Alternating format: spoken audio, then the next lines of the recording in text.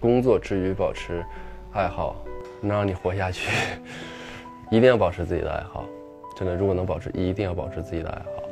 工作是为了生活，那你生活都没有了，工作怎么做啊？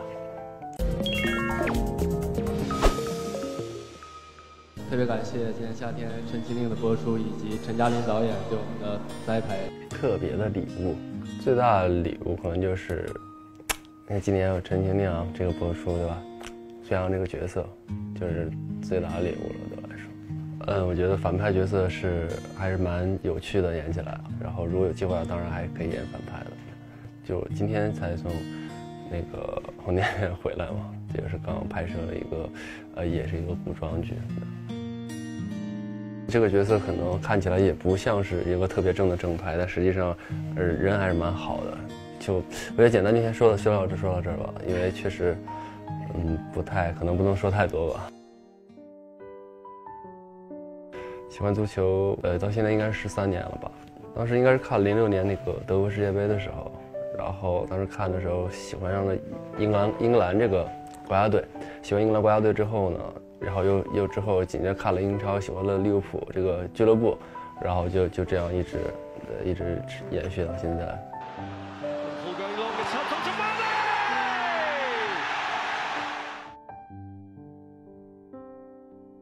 小学、初中还是踢球还是蛮多的，然后大部分会在学校里面踢，其实就是大家一起，呃，可能上体育课呀，或者说有那种活动课的时候，或者是说中间，呃，中午，比如说中午要午休，午休就吃完饭啊，大家去踢一下那种。我们经常乌云密布的情况下去踢，反而凉快，尤其夏天的时候，对，呃，都会会全身会很湿嘛，因为有时候雨会特别大，但是那时候就是。年轻的时候哪会考虑那些嘛？有时候越下雨越想踢，就是这样。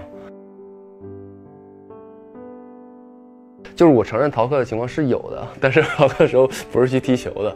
然后这个我承认是有，但是想逃课踢球太难了。你要同时让十几个人逃课，就我觉得，对吧？因为你们你可能是这节是语文课，他可能这节是数学课。比如说他们班班主任数学，他不好逃；我们班班主任语文也不好逃，就就类似这种就很难。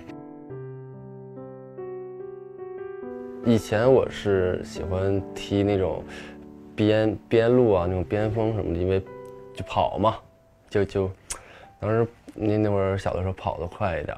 但是现在的话，我可能我现在这个精力体力也就踢一踢球场旁边易拉罐差不多了。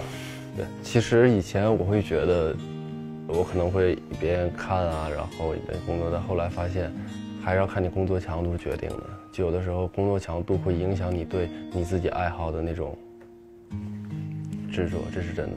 就当你真的是很累的时候，你确实没有其他精力去来做那些东西。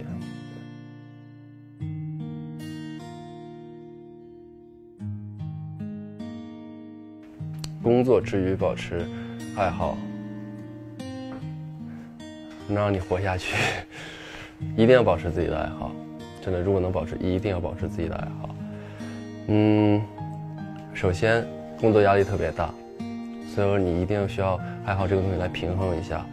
比如说，你说你工作强度那么大，然后各方面，如果你没有爱好这些东西支撑，你抑郁了怎么办？是不是？爱好可以防止抑郁。